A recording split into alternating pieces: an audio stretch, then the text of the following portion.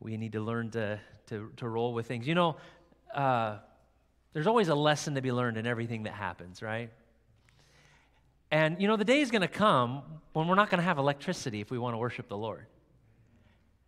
And I, am not saying that tongue in cheek. I'm not, that's not like a, there's no spiritual kind of symbolism to that. I, if, if we believe the Bible, if we believe uh, the prophecies, the comforts and the conveniences, the freedoms uh, that we enjoy now will not last until uh, the day the Lord comes. Do you believe that? Um, we don't know exactly what that time is going to look like, but we've seen, uh, we've seen the evidence historically of times when the church, if you wanted to worship according to your conscience, if you wanted to worship uh, with like believers, you had to go to extreme measures.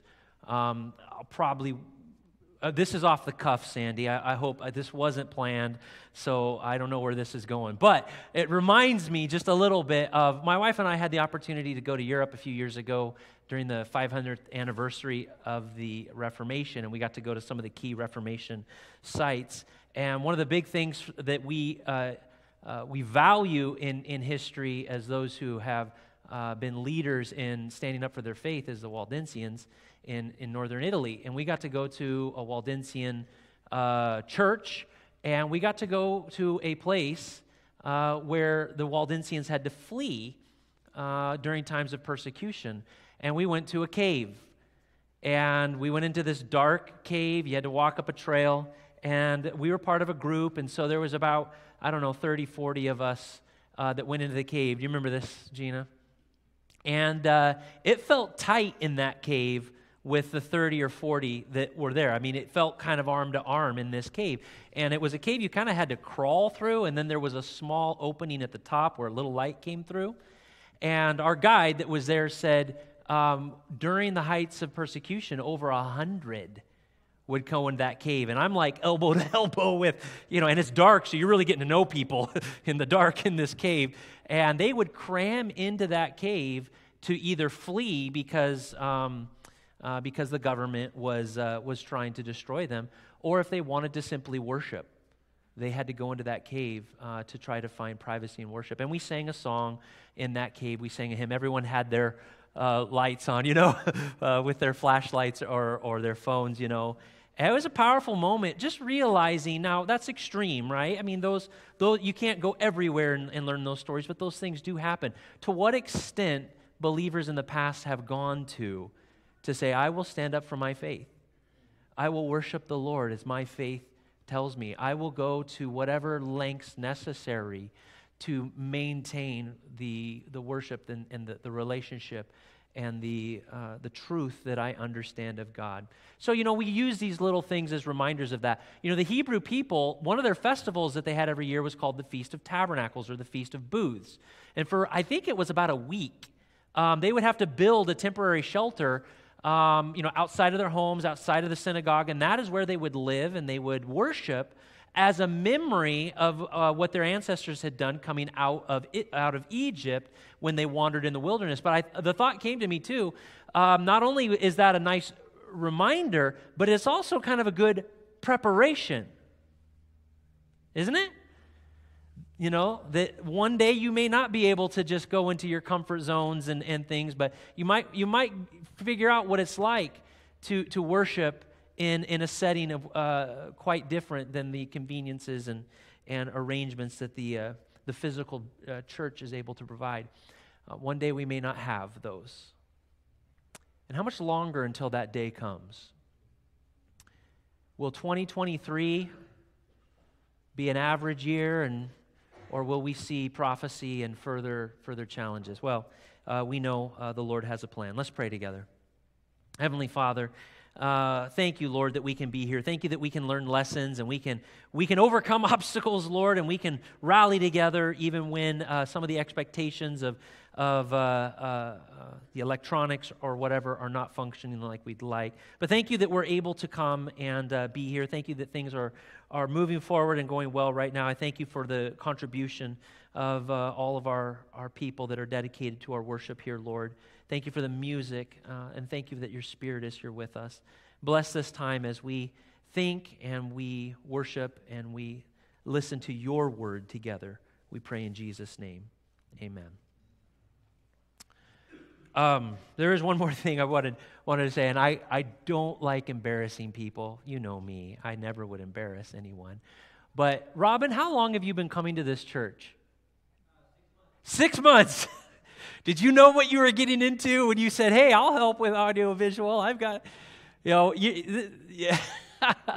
I just want to say thank you because Robin has, he's a new member of our church. He's dove in. And uh, I know that uh, George Herbert used to be there all the time, and he's being a relief, and Nassim is trying to help, and there's others that are trying to be helpful. But Robin, thank you. Thank you for being a servant. Hallelujah. Hallelujah. it's a very emotional word. You either feel it or you don't, really. I mean, if you're of the, if you're of the, uh, uh, you know, growing up in the church, if you've been, uh, uh, if you're aware of kind of what we mean when we say hallelujah, it's a very emotional word. You can say it without feeling it or not, but, but really it's, it's, it's more of an expression uh, than it is just simply a phrase or a word. Hallelujah. It, uh, it's an interesting thing uh, in the Bible of how it's used, and I want to talk about hallelujah today. So, be, as I do that, I do want to invite the young people to help out with the kids' quiz. Can we go black and yellow? Are those ones good? What's that? Oh, well, we're not going to talk about that, Eva. So, Jaden and Toby, go ahead and raise your hands. I'd love to have your help, um, any of the young people, except you that are cheating back in the booth. You are banned. You're not cheating? Oh, my goodness. I think I see over here. Delia? Is that Delia? Delia. All right, Delia. What does the word hallelujah mean? E. Praise the Lord. Oh, she got that right out of the bat. Praise the Lord. That's really, it's a translation uh, of, of these three Hebrew words, or the way they're put Hallel, meaning praise or uh, being of joy. You, which is you, Yah is the shortened of the Lord. So praise you, the Lord, and you know, if you're to follow it that way, but just praise the Lord is what hallelujah means. And you can say praise the Lord and it means hallelujah, or you can say hallelujah and it means praise the Lord. It goes both ways. Another way to say hallelujah is said or expressed today is Holy Lou said, yeah. Hall of low you. Hello, you stud. Or hallelujah. Which one is it? How else do we say? All right, I see some. Ha- oh, in the back, is that you, Sean? All right, Sean, go ahead. D. Okay. All right. I know I was being a little silly on that one. But you know, I grew up, you know, a lot of times when we sing hallelujah, it's sung hallelujah. And when I was growing up, I didn't realize it was the same word. I thought alleluia was, oh, that's super holy, whatever it is. It's, man, that's really deep stuff. Alleluia. It's all everybody doing you, yeah, whatever that means. Um, it's the same thing. It's just, it's just as, it, as the word went through the Greek, and then it went through the Latin, and then it went through the English and everything else, it, it just got shortened and it kind of got abbreviated, and it is the same word when you say alleluia versus hallelujah. Hallelujah is, is technically in, in uh, rhetoric is called an interjection. It's a spontaneous expression, excuse me, most often associated in the Bible with what? Do we see hallelujah mostly with sermons? I guess not, because I didn't get a hallelujah right there. Is it in music and songs? Is it common in prayer or in the poetry section, the wisdom, you know, proverbs and stuff? Or is it mostly miracles? Where do we see hallelujah mostly in the Bible? All right, I see Andre up here. You guys are making me nervous. Let's give Andre a chance and then I'll come to you, Dylan. Songs. All right, Andre says songs. Dylan, what do you say? And Eric, you too. Um, miracles. You did that on purpose. okay. All right. These guys are helping, and sometimes they look ahead, and you know, you got to be careful. But Andre and Dylan, you're right. It's mostly in songs. It is actually part of a musical uh, an attribute to songs, and uh, we'll talk about that in a little bit more. So, where does hallelujah or praise the Lord appear mostly in the Bible? Is it in the Chronicles? Is it among the two major prophets, Isaiah and Jeremiah? Do we find it mostly in Psalms? Is it all over the place in Acts? Or what about Revelation? Where do we find it? Was that great? Or is it Delia again? Sorry. All right, Delia. C. She says Psalms. I'll let one or two other answer if they would like. All right, Eric. B. Oh, now he says Isaiah, Jeremiah. And was there another one over here? Where? Jump up and down. I can't see. Oh, there you are. Isaiah. C. C. All right, you guys know it. I kind of kind of teased it a little bit with, uh, with mentioning that it's mostly found in songs because psalms are songs. It's not as much as you might think.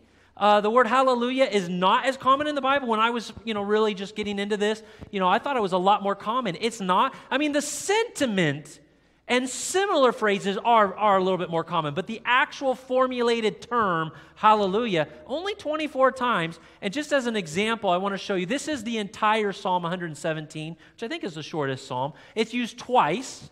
Um, there's actually a section of Psalms called the Hallelujah Psalms. Um, and so here you see it translated as Praise the Lord, all nations, laud him, all peoples, for his loving kindness is great towards us, and the truth of the Lord is everlasting. Praise the Lord. This is one of them where it's twice. And I want you to notice it's at the beginning and at the end.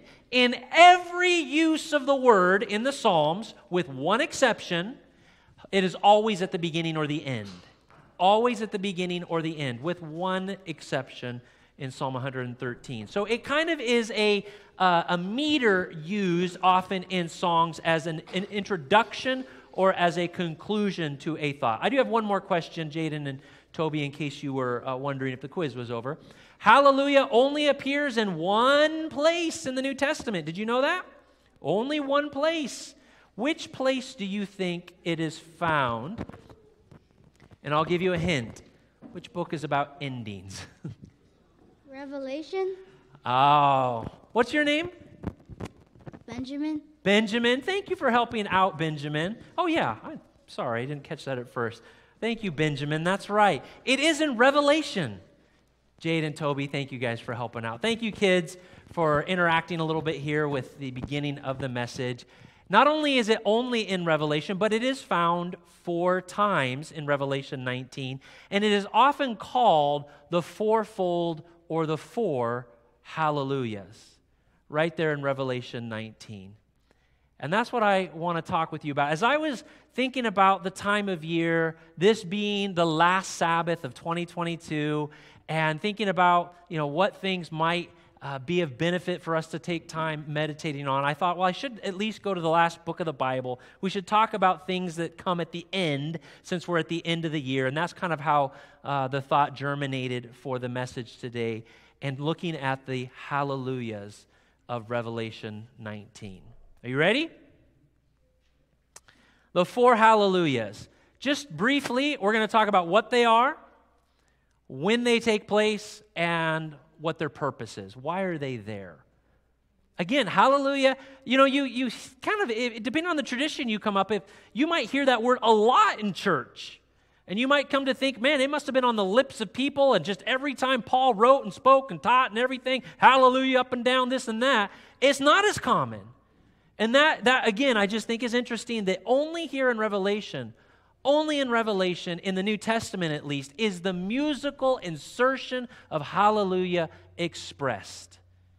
And those things stand out to me. They make me wonder why. So let's look at Revelation. You're, oh, you're welcome to open your Bibles there with me, or I'll just put these six verses on the screen and you can follow along as I go. I'm going to jump around a little bit, but not a lot for the message today. Revelation 19 and verse 1. We'll get into kind of where this is happening. If you're not a big, by the way, I'm not a Revelation scholar. This is not like my strength as a Bible student. Other people are really excellent at, at, Revelation and other prophecies. I'm comfortable with it, but there are some people that excel in it. Um, I'm coming at this uh, just a little bit more as a, uh, a novice Bible student, you might say. But I've done my best to put these thoughts together. So, Revelation 19:1. After these things, and we'll get to what those things are in just a minute, but the chapter begins after these things, and we're getting toward the end, right? Revelation 19. There's only 22 chapters in Revelation, so we're getting to the end here. After these things, I heard something like a loud voice of a great multitude in heaven. I just want to point out some things along the way here. The voices are coming from heaven. And John describes it as best as he had access to in the time of a great multitude. Now, in the Greek world, in the world of which John grew up, any major city would have an amphitheater. And the most uh, uh, loud or the greatest crowd experience if you were in that world would be go to the local amphitheater, unless you were in Rome or one of these big cities that had coliseums and hippodromes and whatnot. But for the average person who never went more than 50 miles from their home in the ancient world, 99% of people in the ancient world never went more than 50 miles from their home um, you would go to the amphitheater. And that was the only place where you would be able to experience the reality of what maybe 5,000 or 10,000 voices shouting out at once might sound like. I've been to some of those amphitheaters in Turkey and other places. After these things, I heard a loud voice like the great, like uh, of a great multitude in heaven saying, Hallelujah. There's the first one. It's never been said in the New Testament until now, never been recorded but here it is in Revelation 19 saying, Hallelujah. And any Jewish reader, anyone who was familiar with the Old Testament, would immediately go back to the Psalms and say, okay, we're now in a musical kind of a, an environment here. We're opening up a new chain of thought here. Hallelujah. Salvation and glory and power belong to our God. Now, there's something interesting that, about this that you won't notice unless you, you get into it before the words salvation, glory, and power, some of your Bibles may have honor there as well. Uh, uh, some ancient manuscripts have honor, some don't. So some Bibles have it, some don't. But before the words salvation, glory, and power, the definite article the is there. I have not found an English translation that includes the the. The the the, I'm sorry that that sounds funny to say it. It's not common in Greek for these words to have the in front of it. It was an extra thing that was not natural. Most of the time, when you hear expressions like this in the New Testament, and there's these, there are expressions like this of the doxology of the, the Lord's Prayer, for thine is the kingdom, the power, and the glory, that's kind of similar to that. There's no the in those. The kingdom, the power. Yes, there is. Excuse me. Let's reverse that. So there are places where it is, but it is interesting, and scholars have pointed out that the presence of the definite article is, is an indicator that this expression of hallelujah, the salvation, the glory, and I'll, I'll just put the, the, the, the there, excuse me, um, is somewhat of an indicator of a finality or an, uh, an elevation of the expression of salvation and glory and power. Eh, the way I've kind of thought of it is like this. Um, you know, sometimes when you're commenting on something, you'll say, man, they're the man, right? And you emphasize the, or man, that was the best, right? If you're from Ohio State, any of you that follow college sports, if you, you know, if you're from a different college, say, I'm from UCLA or I go to the U or I'm from UW or, you know, any of these things. But if you're from Ohio State, isn't it Ohio State that says the Ohio State? Right? They emphasize the, the as a way of saying there's really no other college out there. There's only the Ohio State. Um, I'm still new in this conference, and I still get to meet pastors from time to time. And every now and then, as I'm, whether it's at camp meeting or a pastor, they'll say, "Oh, uh, what, what what church do you pastor?" I like to say, "I pastor the Scottsdale Thunderbird." and everyone kind of understands that you're emphasizing, you're trying to set it apart. It's not just any church, it's not just anything, it's not just any college or any person. It's the. And I think, now remember, John is not just inspired with thoughts to write this. He's writing down what he hears. He heard a great multitude in heaven say, The salvation, the glory, and the power belong to our God. Right? That's what he heard and that's what he wrote. And so it's just interesting that there's an emphasis. There's been lots of expressions of salvation and glory and power, but this is the hallelujah the salvation, the glory, and the power belong to our God. He goes on to say, uh, uh, recording what he hears, because his judgments are true and righteous, for he has, notice the past tense, the Lord has judged the great harlot who is corrupting the earth and her immorality, and he has avenged the blood of his bondservants on her. So these are continuing expressions of, of, of, of joy. And a second time they said, the same voices from heaven, the second time they said, Hallelujah. Right? This is now the second time.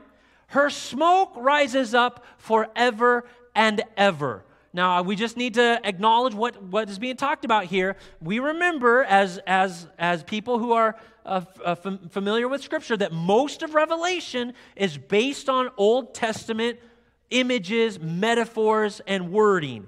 And when he uses this phrase, or when he hears this phrase, her smoke rises up forever and ever, it is a direct quote from Isaiah 34 when, when Isaiah describes the collapse of literal Babylon he uses this same phrase that when Babylon is finally destroyed, uh, you know, it's not going to come back again. Her smoke will rise up forever and ever. So the Bible uses that exact same phrase speaking about spiritual Babylon.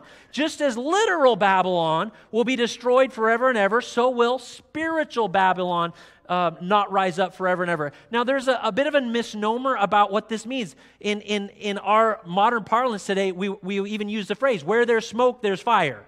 You've heard that before, right? And so people that are advocates and believers in eternal burning and eternal hell say, well, if the smoke is going up forever and ever, then obviously the fire's got to be burning forever and ever because you can't have smoke without fire. But that's kind of a modern way of looking at it. In the ancient world, when they saw the smoke go up, the smoke would go up and it never came down. It just kind of went up into the atmosphere and it went up forever and it would never come down as just simply an indicator that what has been destroyed will never come back again. So in the in the Jewish use, and even when Isaiah uses it in Isaiah 34, right after he says her smoke rises up forever, he the very next thing he says, but the desert will blossom and the animals will come back and dwell in it, and, and God will make this place a refuge for his people. So obviously it wasn't burning because of the next the very next thing is it's going to be a place of great joy and dwelling, uh, which is similar to what will happen here uh, at the destruction of the spiritual Babylon. So her smoke rising up forever just means the finality and the reality that Babylon will never rise again. That oppressing power, that liar, that deceiver, that persecutor, that rejecter of all things that are true and, and noble and good will be gone forever. And the 24 elders, just going to move along here, um, or else I might start preaching if I don't get moving here.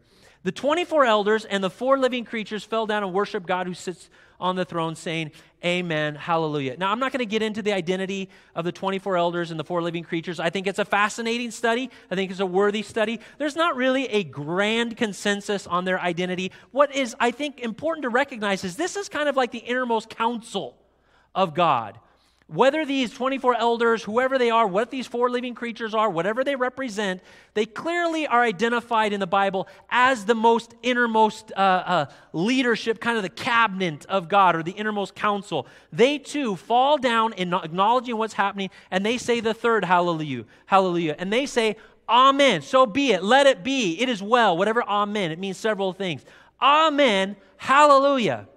Now it's interesting the number, something happening three times in the Bible is very significant. The holy, holy, holy, or, um, you know, the Trinity is three. Three is obviously kind of a symbol of God and of, of completeness and wholeness. And you would think that three hallelujahs would be enough.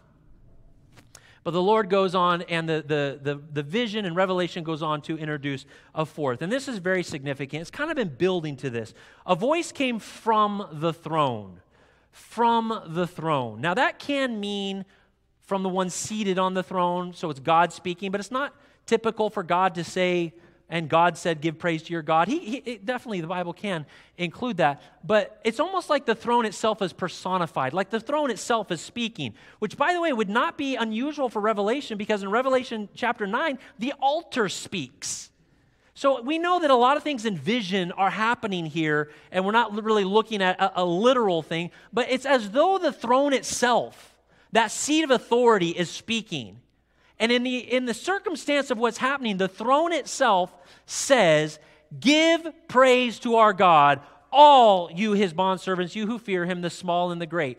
Most people that study this and, and that I have looked at suggest that this invitation is a universal call by the throne of God or by, uh, you know, by the Lord himself, however you want to uh, interpret the throne, to all of God's creation, not just in this world, but in every world and to angels as well. This is a universal. Remember the great controversy that, that I've talked about at length uh, in this church, and, and, and we need to be reminded of as Seventh day Adventists, involves more than just us. The angels are bound up in it. Every intelligent creation, the entire universe of God is bound up in the issue of sin. When Satan rebelled against God, it didn't just affect us here on planet Earth, and then when Adam and Eve, it affected God's entire family.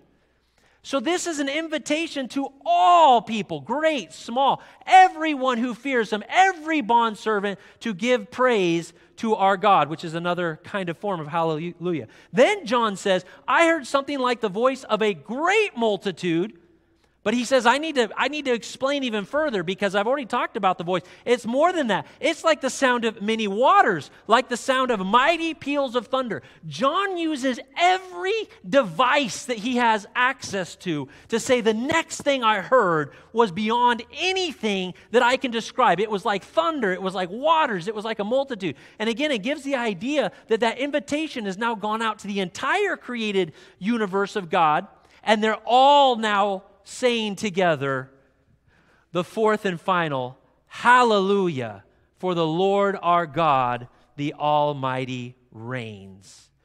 And that's, that's those four hallelujahs.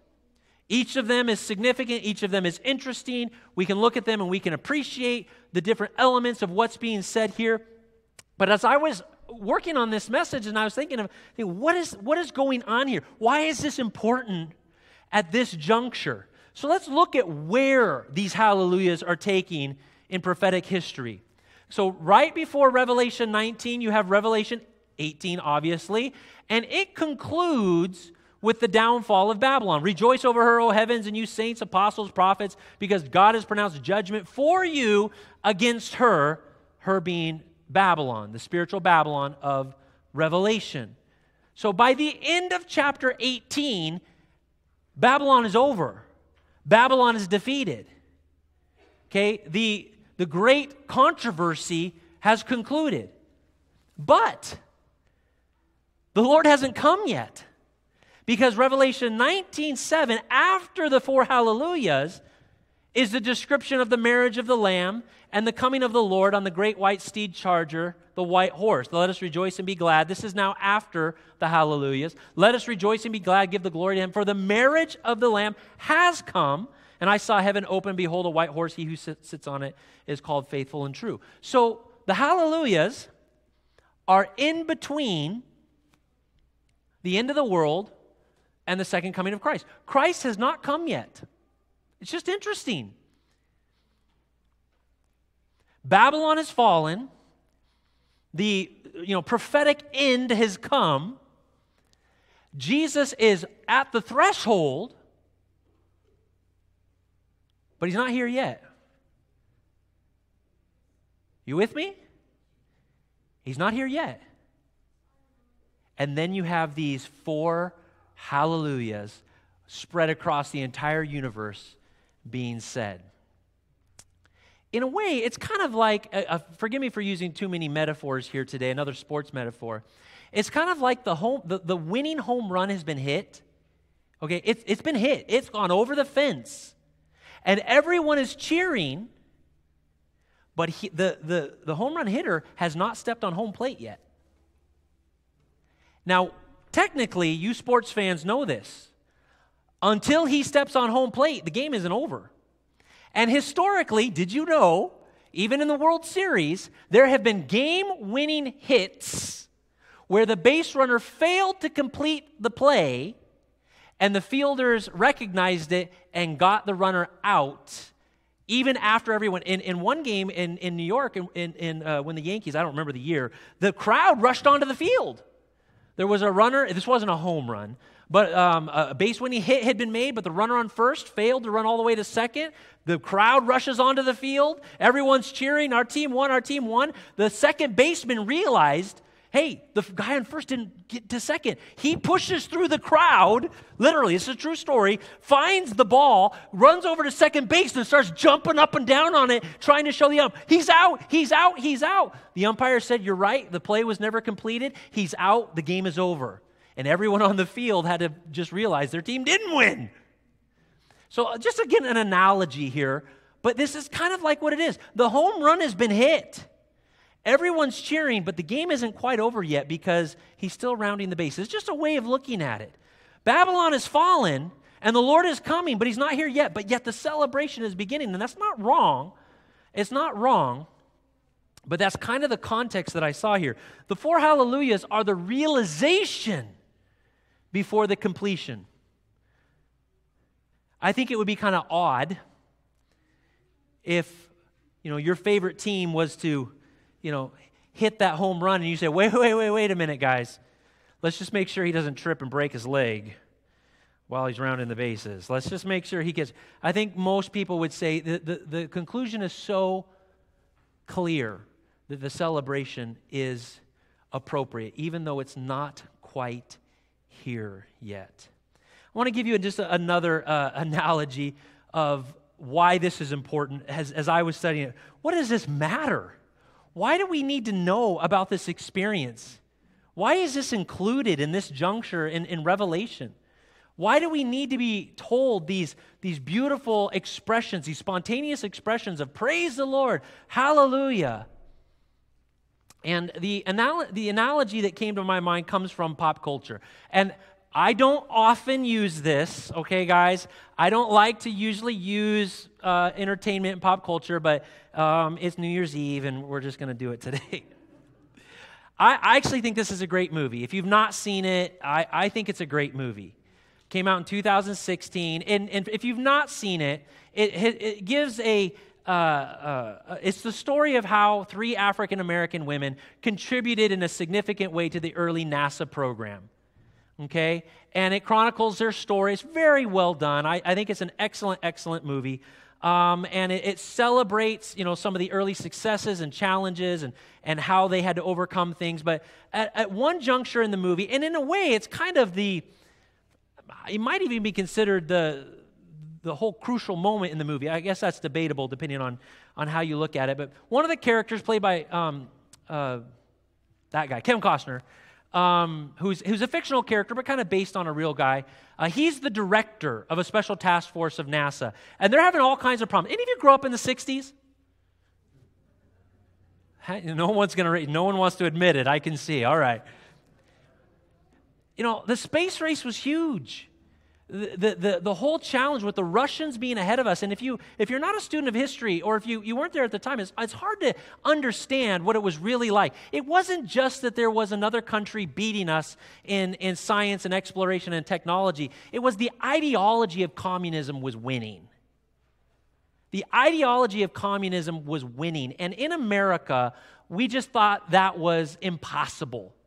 And, and I, I don't want to get into all the geopolitical elements of it, but it was a big deal the Russians were winning, and whoever controls the, spe- the space, the thought was, controls the world. So it was a big deal that the Americans, you know, catch up with the Russians and tells the story of how these different characters are competing. But in this particular moment, bear with me as, as I'm getting to the point here. Um, he's having kind of a, a, transparent moment with Katherine. That's her name's Katherine Johnson. It's hard to see. It's really um, faded out. I apologize about that. Can you see her okay? Um, he's talking with her and he's standing in front of this chalkboard with all these mathematical equations and he's just saying, Look, this is a problem. We haven't learned the math yet. We don't know the engineering. We don't know how the Russians are beating us. Um, and, and we have major problems ahead of us. And if we don't solve these problems, if we don't figure out the math, if we don't figure out the engineering, we're not going to the moon. We're not going anywhere. And we've got these major, and he kind of just goes into the problems and he's, he's trying to, he's showing his frustration and he's looking at all these problems on the board. But then he makes this statement. He says, if we don't solve these problems, we're not going anywhere. But then he looks at Katherine and he says, but in my mind, I'm already there. in my mind, I'm already there. And then he asks her, Are you there too? Are you there? And it's just this way of, of expressing an idea that I know that there are problems, I know that there are challenges, and I don't even know the answers to those challenges. But I am already beyond them. My mind is already at the solution. I'm already on the moon. I don't have it figured out here on earth yet, but in my mind, I'm already there. And that's what I think the four hallelujahs are there for. You know, the, the way in which the world is progressing, it doesn't look like we're going to get there. When I look at the problems on the chalkboard, it doesn't look like faith is working. It doesn't look like Christianity is progressing. It doesn't look like the church is winning. It doesn't look like we're going to get there. But hallelujah, I'm already there. You know, it took almost 500 years for Europe to go from being a Christian place to being a post Christian place. But in less than a generation, America has gone from being a Christian nation to being a post Christian nation. And I think we could very easily argue that she's becoming very anti Christian. And the problems look troublesome. How are we going to get there? How is the Lord going to do it? I can't answer it all. I don't know all the math yet. I don't understand every prophecy just perfectly, but one thing I do know is hallelujah, I'm already there. The Lord has an answer. The Lord has a solution. Hallelujah. The salvation, the glory, and the power don't belong to Dave Lounsbury. They don't belong to me. They belong to the Lord. I'm already there. Hallelujah. The smoke of, of, of is going to rise up forever. She'll never rise up again. That power that lies and persecutes, that twists, that oppresses, it's going to be destroyed forever. Hallelujah. It hasn't happened yet, but I'm already there. Hallelujah and amen. So be it. Let it be. The 24 elders, the four living creatures, before it's even happened, they cry out, Hallelujah. He hasn't finished going around the bases yet, but the home run hit will go across that and the game will be over and the Lord will come. Hallelujah. For the Lord our God, the Almighty, reigns. Hallelujah. I don't know what 2023 is going to do to us. Maybe another pandemic. Probably some kind of politics. Who knows what the environment's going to be? Maybe the power will get shut off. The other thought I had, um, where are you, Eva? When you talked about you can pull it up on your phone. Do you know that there, right now in our country, there are organizations trying to ban all spiritual things from being on the internet? Will we have this before the Lord comes? Will we be able to use this? I don't know. I don't know. But what I do know is my faith is on the Lord Jesus Christ. And it ain't over yet. But hallelujah the victory is already ours. Will you say hallelujah in 2023? Hallelujah. Amen. Let's pray. Heavenly Father, Lord Jesus, so many ways in the Bible you give us similar sentiments, promises, and evidence, miracles, and history, and prophecies, and experiences that are there to build our faith. They're there for a reason. They're there to sustain us. They're there to encourage us. They're there to strengthen us, Lord. They're there to be that coat on us that changes us, to give us hope. And Lord, I'm thankful that the four hallelujahs are there, even though we're not there yet. in our mind and in our faith, in our confidence, in our hope, we are there. We are there. And Lord, that day may tarry a lot longer. In your grace and your mercy, your plan will play out in this world, in this next upcoming year, and who knows how long. But Lord, we are ready now. We want to be ready now. We want to be able to cry out to you and join with those voices in heaven, to join with the voice coming from the throne, to join with the worship of the elders and the living creatures, to push back against the lies of the devil and say, Praise the Lord. Hallelujah. The Lord Almighty reigns. Amen.